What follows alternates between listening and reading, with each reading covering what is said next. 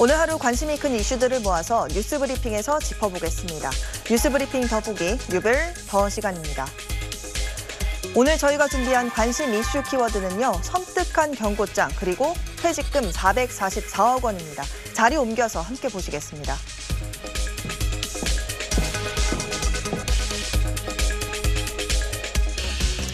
최근 한 아파트에 섬뜩한 경고장이 붙어서 논란입니다. 누군가 엘리베이터 안에 이런 인쇄물을 붙여놨다고 하는데요. 자세히 보니 다음은 너야 라는 경고 문구와 함께 과거 보도됐던 뉴스 하나가 인쇄되어 있었습니다. 어떤 내용이었는지 먼저 보시죠. 아파트에 붙은 살인 예고글이라며 온라인 커뮤니티에 올라온 사진입니다.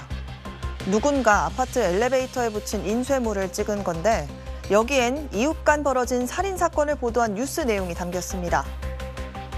지난 2022년 6월 인천의 한 다세대 주택에서 1층 주민이 3층 주민에게 찾아가 흉기를 휘둘러 숨지게 했던 사건이었습니다. 경찰 조사 결과 담배 연기 때문에 벌어진 일로 밝혀졌는데요. 해당 경고문엔 이 뉴스와 함께 다음엔 너야 라는 오싹한 경고 문구도 적혔습니다. 사실 이런 흡연 갈등은 하루 이틀 벌어지는 일은 아닙니다. 지난해엔 이웃에게 실내 흡연 문제를 지적한 임산부가 자신이 보복 테러를 당했다고 주장하는 일도 있었습니다.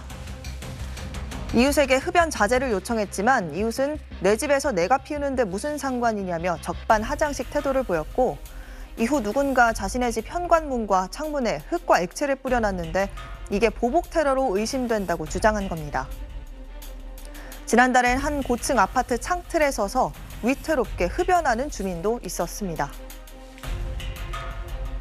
이렇게까지 흡연을 해야 하나 눈살이 찌푸려진다는 반응이 다수였는데요. 이런 흡연 갈등은 점점 늘어나는 추세입니다. 실제로 층간 흡연으로 접수된 민원만 지난 2022년에 3만 5천 건이 넘었는데요. 2020년에 비해서 20%나 늘어난 수준입니다. 이렇게 갈등이 점점 심각해지고 있는 데엔 층간 흡연을 규제할 마땅한 규정이 없다는 점이 배경으로 꼽히고 있습니다. 현행법상 공동주택의 입주자는 발코니, 화장실 등 세대 내에서의 흡연으로 인해 다른 입주자에게 피해를 주지 않도록 노력해야 한다고 규정하고 있습니다. 또 간접 흡연으로 피해를 본 입주자가 관리사무소에 알리면 관리 주체는 흡연을 중단하도록 주민에게 권고할 수 있게 돼 있는데요. 하지만 입주자의 흡연을 중단시킬 권한은 없습니다. 관리사무소에서는 보통 안내 방송과 안내문을 붙여 경고하는 수준에 그치고 있는데요. 층간 흡연 문제가 법 사각지대에 놓이면서 입주민 개개인이 감당해야 할 크고 작은 분쟁이 점점 늘어나고 있습니다.